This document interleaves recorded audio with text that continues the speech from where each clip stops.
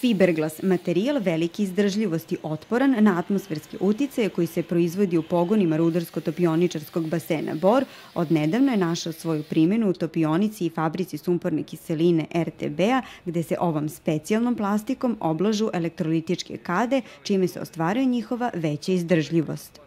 Malo je skuplja financijski, ali je zato po nama veoma ispatljiva. Imamo planu da zamenimo sve te ćelije koje su u, u, u samoj elektrolizi. To je jedna novina koja je uvedena znači ove godine u sam proces znači elektrolize. To je da tretmanom otpadnih voda smanjimo znači koncentraciju bakra da ga ne bi gubili kao što smo to ranije radili znači prilikom odbacivanja izbacivanja otpadnih voda iz elektrolize. Elektrolitičke kade služe za reciklažu otpadnih voda u kojima se nalazi 8 grama bakra. Procesom elektrolize količina bakra je sada smanjena na 1 gram po litru. Ovo je važno, kažu u RTB-u, iz dva aspekta.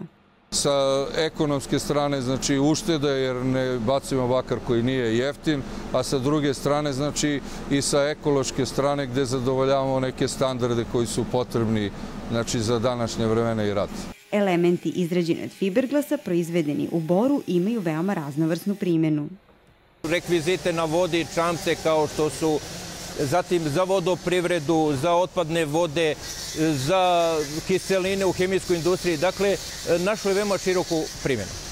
U rudniku Bakra u Boru u toku je remont svoda visoke peći topionice, a kompletni radovi na obnovi stare topionice košteće 40 miliona dinara i 320.000 evra.